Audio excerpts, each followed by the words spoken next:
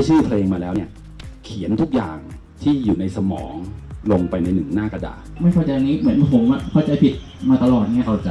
ไม่ดีไม่ไม่นายไม่ผิดนายไม่ผิดไม่นายไม่เข้าใจผิดไม่ได้เข้าใจผิด ก็ตอบทุกคำถามแบบไม่มีกั๊กไปเลยนะคะตั้งแต่เทคนิคการเขียนเพลงว่าต้องทำยังไงให้ปังนะคะ จะเริ่มจากคำร้องหรือทำนองก่อนก็ได้ ไปจนถึงเรื่องค่าตัวค่าลิขสิทธิ์ว่าคนทำงานเพลงตรงนี้เขาได้เงินกันอยู่ที่เท่าไหร่นะจะได้ตัดสินใจได้ว่าจะเดินต่อบนเส้นทางนี้หรือเปล่านะคะ นานๆทีเลยค่ะ จะมีมือกลองแล้วก็โปรดิวเซอร์คนดังที่มาทำเพลงให้กับทั้งอ่าที่เคยทำเพลงให้กับทั้ง Big Ass p a r m y Body Slam ลาบานูนนะคะ อย่างคุณกบ Big Ass เนี่ยมาลงพื้นที่ถึงขอนแก่นเลยค่ะ มาคุยกับน้องๆนะคะชื่อกิจกรรมว่ากรุงแก่นคิดเล่นๆ จนเป็นเพลงค่ะ ที่โปรดิวเซอร์คนดังอีกคนอย่างคุณ F จากวง Hobbit นะคะ ก็มาร่วมออกไอเดียด้วย เปลี่ยนพื้นที่ในบ้านแบบนี้ ให้กลายเป็นแคมป์ดนตรี ก็ไม่ได้มีการคิดค่าใช้จ่ายอะไรนะคะ ซึ่งหลังจากช่วงโควิดที่ผ่านมาที่ผ่านมานะคะ ก็กลับมาทำงานที่ขอนแก่นค่ะ ก็เลยปิ๊งไอเดียว่าน่าจะมีเวทีให้เยาวชนเนี่ยได้เรียนรู้นะอยากจะบอกเล่าประสบการณ์จากมืออาชีพละค่ะ งานนี้ใครอยากขอคำแนะนำอะไรทั้งคุณกบคุณ F ก็เปิดช่วงให้ถามนะคะ บางคนเอาทำนองเพลงมาให้พี่ๆวิจารณ์กันว่าฟังแล้วเป็นยังไงบ้าง ก็คือเหมือนแต่งมาให้ฟังใช่ไหมคุณกวินพใช่บครับ ค่ะ บางคนก็บอกได้คำเดียวว่ารักเพื่อน เห็นเพื่อนมาไม่ได้ก็เลยขอวิดีโอคอลหาซะเลย ให้คุณกบแนะนำให้จะได้ไม่พลาดโอกาสค่ะ ผมเป็นเด็กต่างจังหวัดเหมือนกันก็อยู่จังหวัดใกล้ ๆ ก็คืออุดรเนี่ยแล้วก็เราก็รู้สึกเหมือนว่าเรา เด็กต่างจังหวัดอย่างเราเนี่ยขาดโอกาสขาดขาดการคนที่มาชี้ทางขาดเหมือนกับขาดเข็มทิศนะครับ เพราะเด็กๆ ผมก็งงกับชีวิตเหมือนกันว่า ถ้าอยากเป็นอยากเข้ามาในวงการเนี่ยต้องทำยังไงเนี่ยก็นึกย้อนกลับไป พอมีคำชวนจากที่นี่ไปแล้วก็แบบว่าผมรีบตอบรับทันทีเลย เพราะว่า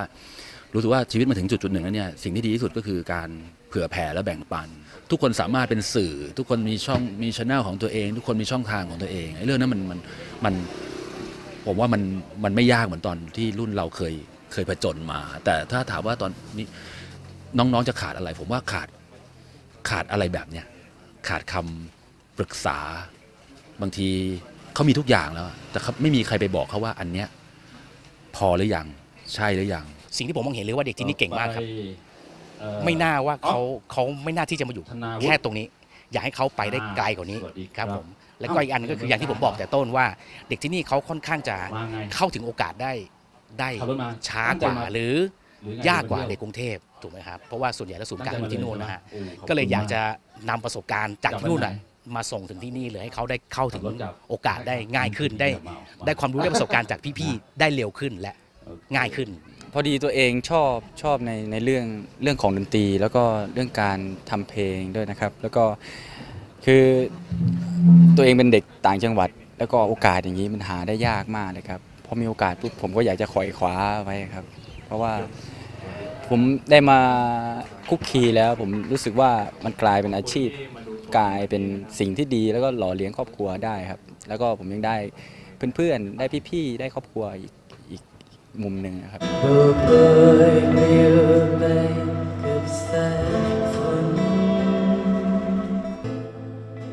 นอกจากจะเปิดวงชวนคุยกันแล้วก็ยังเปิดพื้นที่ในงานให้โชว์ของกันด้วยนะคะ ใครที่ทำเพลงอะไรไว้อยากจะเอามาร้องเอามาโชว์ก็จัดให้แล้วก็คอมเมนต์กันไปเลยค่ะ หรือว่าจะเป็นสาวๆสายเต้นก็ได้พื้นที่โชว์ลีลาเท้าไฟอยู่เหมือนกันนะคะ ซึ่งงานกรุงแก่นนี่จัดขึ้นเป็นครั้งแรกเลย ทั้งโชว์ทั้งล้อมวงคุยกันตั้งแต่ช่วงบ่ายจนถึงค่ำนะคะนี่